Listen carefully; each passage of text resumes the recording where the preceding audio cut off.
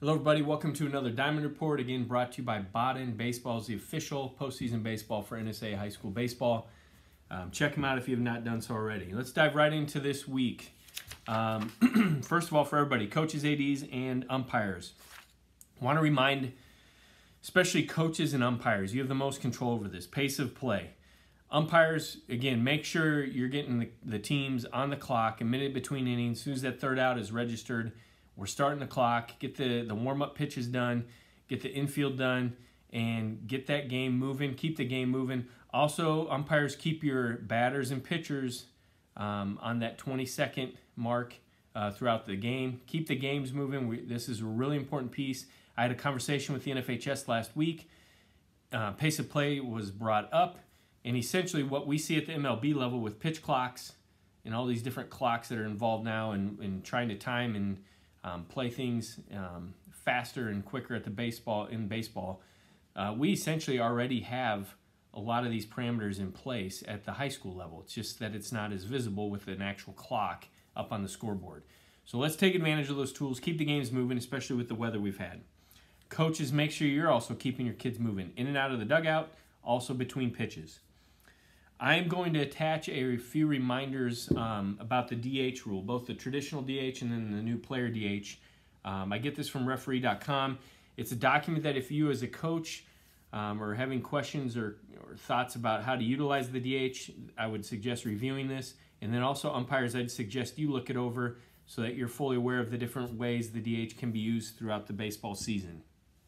Finally, for everybody, um, probably more ADs than anybody. Next week, April 3rd through the 8th, is Officials Appreciation Week for our spring activities. So if you're hosting some baseball games next week, make sure you take the time to do something special for our officials and show them how much we appreciate them working and taking time out of their personal lives to work. Um, but also, it's a, just a general reminder, too, in how we need to teach our kids and the team um, in general on how to treat umpires, but then even further than that, how our fans should be treating officials. So make sure we blow that up locally if you are hosting games, announcements, how you treat the officials, maybe call out special attention to them, and thank them for everything they're doing. Now for umpires. Again, we've got the three person uh, umpire clinic coming up on Sunday, April 30th. If you have not registered yet and you are going to work postseason or want to work postseason, I advise you get into this clinic. It's going to be in Lincoln again on Sunday, the 30th. Uh, it'll be a great opportunity to learn from other umpires as well as get reps out on the field. Continue to put your schedules in, umpires. Continue to uh, monitor if you're going to want to work postseason. Get that application in by next Friday, April 7th. Um, and then, umpires, I want you to take a minute this weekend if you have not done so already. There was an ejection during the last few days of spring training involving catcher JT Realmuto. And, and um, umpires, I'd like for you to go to YouTube, just type in JT Realmuto, Realmuto ejection and then I want you to watch it. Watch it in its entirety. I threw some questions in this um, diamond report, some things to consider, and I think it's important for umpires to slow things down when when we get maybe triggered a little bit, or when a coach is acting out, or when a player is acting out. Ask yourself some questions.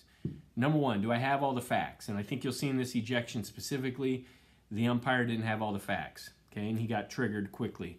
Secondly, have you seen the entire situation unfold?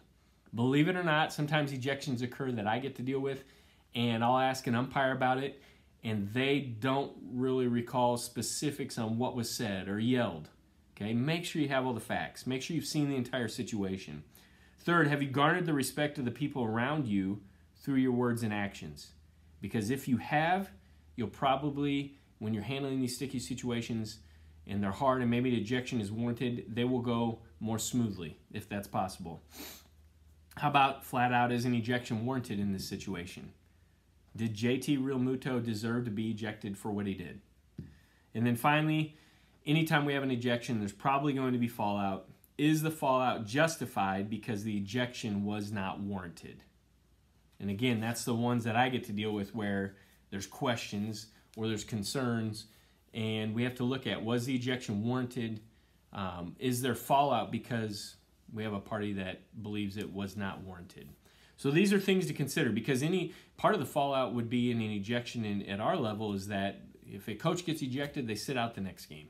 Um, same with a player for unsportsmanlike conduct. So there is going to be fallout, and so we have to slow down and make sure things are warranted.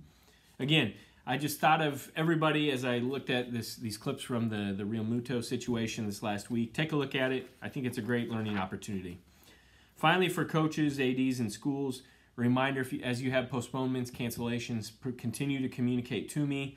If you're going to have a tournament and you have weather, communicate with me. I'll help you figure things out. If you got questions before you make a call, make sure you talk to me. I'm glad to help.